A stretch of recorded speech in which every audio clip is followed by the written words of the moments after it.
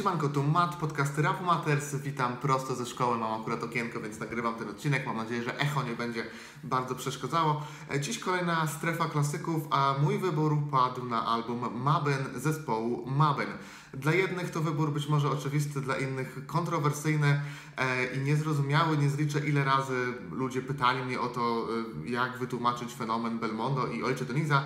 No i wreszcie chyba dorosłem do tego, by się za to zabrać, by wytłumaczyć, a przynajmniej spróbować wytłumaczyć, o co w tym wszystkim chodzi i dlaczego Maben zarówno, zarówno jako album, ale przede wszystkim jako grupę należy włączyć do kanonu polskiego hip-hopu. E, Kilka podstawowych faktów. Oryginalny skład Maben to Belmondo i Ojcze Donis, znany także jako Doni JWP i oczywiście tak, tak, z tego JWP.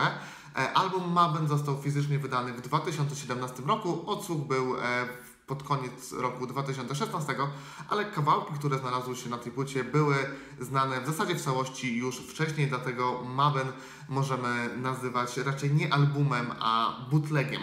I właśnie, mówiąc o Maben czy o Belmondo, trudno ograniczać się jedynie do tego, e, co znajduje się na tej płycie. Oprócz e, Maben e, mieliśmy wiele lu luźnych kawałków, e, szczególnie Belmondo, mieliśmy współpracę z Hewrą, e, widoczną też na tym albumie, e, bo za wiele bitów odpowiedzialny jest Kuba O, a.k.a. Octocopter, a.k.a. 100 milionów różnych innych ksywek. E, ale są też oczywiście ludzie z Hewry, czyli Don Poldon e, na przykład. E, także wiecie, niektórych e, artystów, pisarzy e, do kanonu e, wrzuca się za poszczególne dzieła. E, Natomiast poetów często do, do kanonu, do jakichś list e, wrzuca się z dopiskiem dzieła czy też utwory wybrane i myślę, że właśnie e, tak samo do kanonu polskiego rapu Mabyn możemy włączyć nie może jak totalnie za, e, za album Mabyn, e, ale za wszystkie ich e, dokonania, dlatego że Mabyn no niekoniecznie tym albumem, tak jak mówię, jest. E, Niekoniecznie jesteś, jest też dlatego, że czuć, że to zlepek, choćby dlatego, że mamy solowe kawałki Belmondo, mamy solowe kawałki Doniza, mamy kooperację tylko Belmondo z innymi ludźmi, czy tylko Doniza z innymi ludźmi. E, także naprawdę nie wiadomo, kto tu głównym twórcą jest, kto tu za co odpowiadał. Tak wrzucono do wora e, najlepsze kawałki i tyle. E, co ciekawe, e, no mimo że w przypadku Maben wiedzieliśmy, kto jest kim, e, to cała ta hewro-mobynowa otoczka, wizualizacje, bity, wymykanie się językowym schematom, jakaś taka oddolność działania, trochę niepowtarzalny klimat, e, trochę taki też sekciarski e, vibe. E, no to wszystko e, sprawiało, że patrzyło się na nich jak na taką rapową awangardę, e, czy jak na ludzi po prostu z innej hip-hopowej i nie tylko planety. Na wstępie trzeba jasno powiedzieć, że wejście w Maben jest trudne. Maben ma spory próg wejścia. Znam wiele przypadków i sam jestem po części jednym z nich, w których potrzeba było chwili, by przegryźć się za stylem, by skumać o co w tym chodzi. Pierwsza faza to może być totalne niezrozumienie formuły, odrzucenie, wyparcie, wsadzenie ich do grona łaków, tylko że no, to, nie, to wcale nie jest tak, jak na początku się myśli i to nie jest tak, że wszyscy fani zespołu Mabyn tkwią w zbiorowym obłędzie. E, Pierwszym trudnym momentem jest na pewno zderzenie się z flow e, Belmondo i Doniza, bo brzmią trochę jak drechole, którzy dorwali się do Majka e, po raz pierwszy w życiu, coś tam sylabizują, mają wiele ordynarnych punchline'ów i taki typowy uliczny state of mind. Ale, ale, ale, e, to forma. Oni tę formę wybrali w 100% świadomie i z tego trzeba zdawać sobie sprawę. E, bo nie jest tak, że raperzy z Maben nie potrafią normalnie, w cudzysłowie, rapować, bo umieją i potwierdzali to na e, starych truskulowych kawałkach, bo takie nagrywali. Jednak no, wypisali się z wyścigu na tak samo akcentowane podwójne, na składanie wersów w identyczny sposób, na nawijanie w jak najszybszym tempie, bo kiedyś to też przecież uznawano za, za flow e, i zaczęli rapować po swojemu. Po prostu. Czasami siermiężnie, czasami mega płynnie, bo tego też im nie można odmówić, e, melodyjnie, ale zawsze po swojemu. I uwaga, ale to też jest definicja flow. Flow ma być wyróżniające się, a nie ma być flow z generatora. E, co więcej, warto dodać, że pod względem czysto technicznym, e, no niektóre ich teksty bywają naprawdę dobrze napisane. Młody G często posługuje się prostymi rymami, takimi bardzo prostymi, ale mnoży je tak, że to wszystko łączy się w niekoniecznie spójny, ale na pewno magnetyczny ciąg myśli, e, z naćkanymi mniej i bardziej błyskotliwymi, błyskotliwymi one-line- one-linerami, jak w, na przykład w numerze Beskidu. To są takie strumienie świadomości, w których nigdy nie wie się, czy w kolejnym wersie trafi się na nawiązanie do jakiegoś e, artysty, do filozofa, czy może kolejny e, wers o seksie oralnym, a może Belmondo ukłuje sobie jakąś frazę, którą będzie powtarzał do końca zwrotki. No nie da się tego przewidzieć, tak e, to jest po prostu napisane.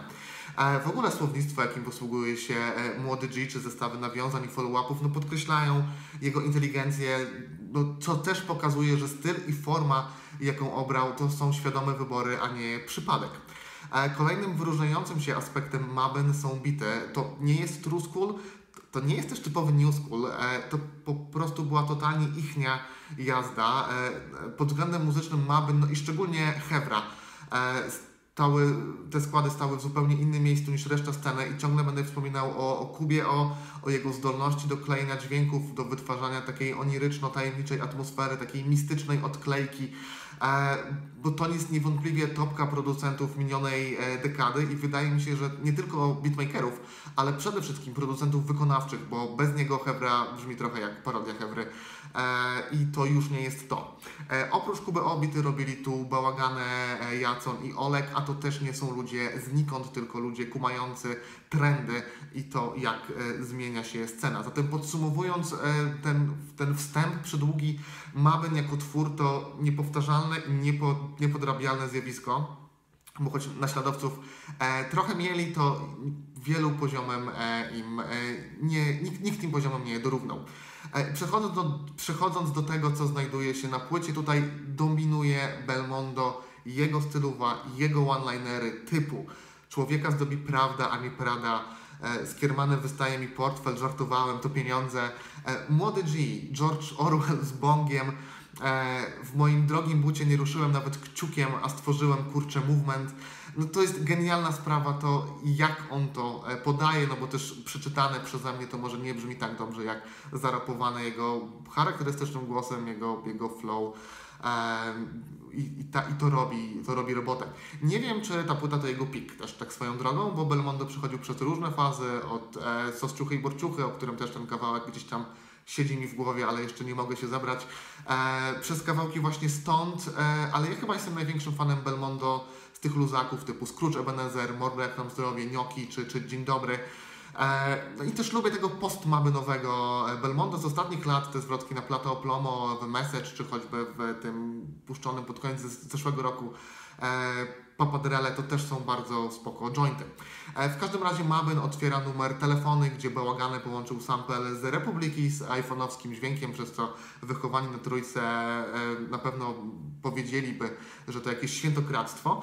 To numer, który był znany na długo przed premierą, wydaje mi się, że to pierwszy tak, taki świadomo usłyszany kawałek Belmondo, jaki, jaki poznałem i o nie miałem, jak to usłyszałem, bo e, to, co się tu działo, bitowo też e, na przykład bardzo mnie, mnie ruszyło, e, ale też e, no, to, jak Belmondo tutaj rapował, te wszystkie jego e, wersy pomniki, jakie stworzył, czyli Halko, dzwoni twoja dupa, e, te, ta gra na pozornie prostych skojarzeniach, czyli że e, idę robić SOS, nie Mayday, ta metafora uniwersytetu, to też momentalnie rzuca się w uszy. To jest bardzo krótki, ale jakże kompletny kawałek, bez kitu.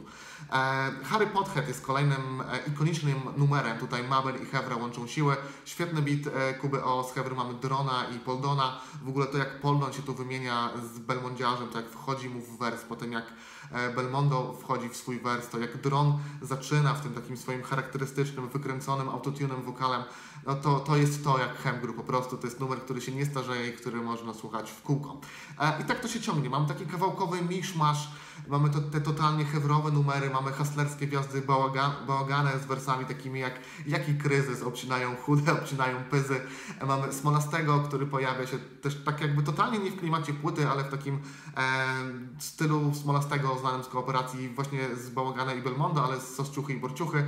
E, ale mimo tej różnorodności, e, tego, że nie wiemy, co się kryje w kolejnym numerze, nie wiemy, w jakim składzie będzie kolejny numer, w jakim klimacie będzie kolejny numer, to ten album jest e, wciąż bardzo słuchalny, no choć traci na tym, że to jest jednak mimo wszystko mniej lub bardziej dopracowany e, zlepek utworów i, przede wszystkim chyba chęć odcięcia kuponu od tego, czym było Maben i spieniężenia trochę kariery, no bo te kawałki były wrzucane jako luzaki, raczej nie jako baza pod, pod album. E, no nie chcę przedłużać mówiąc o poszczególnych e, numerach, bo, bo to nie ma sensu, ale oprócz wspomnianych e, wcześniej to San Salvador, Ernst Blofeld to też jeden z takich kozackich, jednych z naj, najlepszych numerów Belmondo, czy Hieroglify to są numery, które na pewno trzeba znać. E, Mabin jako movement przede wszystkim celowało w zmianę e, hip-hopowego paradygmatu. I wydaje mi się, że przez to trudno było ich oceniać, przez to recenzenci czy zwykli słuchacze mieli bądź mają problem z tym, jak interpretować to, e, no przykładając do nich truskulową linijkę, truskulowy kalkulator, czy, czy nawet jakieś newskulowe ramy czy schematy, no to sorry, ale z tego wszystkiego, z jakiegoś tam dodawania y, wszystkiego i kalkulowania wyjdzie nam to, że to jest, że są słabi i tyle. Poniekąd rozumiem te oceny, ale z drugiej strony, tak jak mówię, to nie miało być ani takie, ani takie, to miało być ich nie, wolne od ram, wolne od wszystkiego i to im się udało. Dlatego trudno to zdefiniować, trudno to ocenić, bo nie wystarczy powiedzieć o flow, e, o tekstach, o bitach i mamy recenzję, dziękujemy bardzo. E, tu tylko stoi za tym e, coś więcej. Może to zbyt łatwa furtka, bo zawsze ją można wykorzystywać, tak? Nie rozumiesz, dlatego nie doceniasz, nara. No ale nie, no bo czy sądzicie, że e, Donizowi i Belmondo zależało na podwójnych, czy zależało na rapowaniu na drugi wers, albo na przychwałkach o, Gucci- o Gucci Beltach, czy o czym tam się teraz rapuje? No nie sądzę, by to miało tak być. E, Bity pozwalały im na takie awangar- awangardowe jazdy i wykorzystywali to jak mogli. E, może trafi się ktoś, kto kiedyś w przyszłości to dopracuje, e, ale no nie sądzę, bo też tutaj dużo e, musiałoby się zadziać. Przede wszystkim e, to wymaga charyzmy, a te Belmondo miał. Po drugie inteligencji, e, bo gdyby to było takie totalnie durne i totalnie bez sensu, to, to by nie zagrało. Środowisko by to raczej odrzuciło. E, Na tę inteligencję Belmondo też na pewno i na to, na to jakimi metaforami się posługuje, jakimi, co follow-upuje, też na pewno miało wpływ środowisko, w którym się urodził, w którym dorastał. E, oprócz tego wiadomo, e, bity, pomysły na flow, one-linery, które wielu osobom weszły do słownika. E, no, mam też wrażenie, że to, że byli kolektywem, e, że nigdy nie było wiadomo też, czy wystąpią razem, czy w jakiejś tam innej formacji, to robiło swoje. Tak samo jak to, że do pewnego momentu e, nie wyświetlali się w wywiadach, nie łazili po redakcjach, e, nie stała za nimi wielka marketingowa machina. To wszystko działało bardzo na plus, bo to było bardzo naturalne. E, I chyba tyle z mojej strony. Przepraszam za, za, za wszelkie głupoty i przekłamania, jakie, jakie mo- mogły tu paść. Mam nadzieję, że mo- Mobinators będą dla mnie łaskawi. E, no, wydaje mi się, że trochę na okrągło o tym mówiłem, ale, ale no wierzę, że kilka punktów do Was trafi. E, jeśli nie lubicie ma- Mabyn, to jednak dacie jeszcze jedną szansę i podejdziecie bez uprzedzeń, bo tutaj, e, jeżeli się podchodzi już z jakąś tezą, to bardzo łatwo sobie dorobić resztę teorii do tego e, i zepsuje to na pewno fan. Natomiast no, mam nadzieję, że jakoś udało mi się o tym fenomenie Mabyn powiedzieć. I tak jak mówię, oni zasługują na pewno na włączenie do kanonu polskiego hip-hopu. E, to wszystko na dziś, kolejne, klasyk- kolejne strefy klasyków już wkrótce. Przypominam, że podcast możecie wspierać się na Patronite. E, zapraszam na facebookową grupkę, na fanpage i na Twittera, gdzie sobie często shit postuję. E, dobre winyle i kompakty znajdziecie w sklepie iwoski.pl i nara.